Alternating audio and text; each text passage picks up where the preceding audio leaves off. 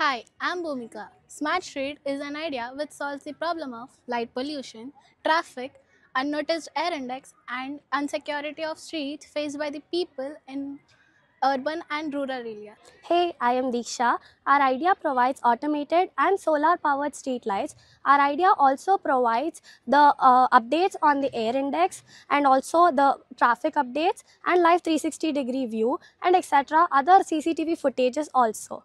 Hi, I'm Bhupender. Our street lights has solar panels, different sensors and CCTV cameras and alarms which help them in its functioning. And all these features are made accessible to people by our app Smart Street. Our idea for next 3 months is to update our app and also perform on its raw material costs. Our idea has the potential to replace nearly 1.32 CR street lights in India and be implemented in rural areas in future.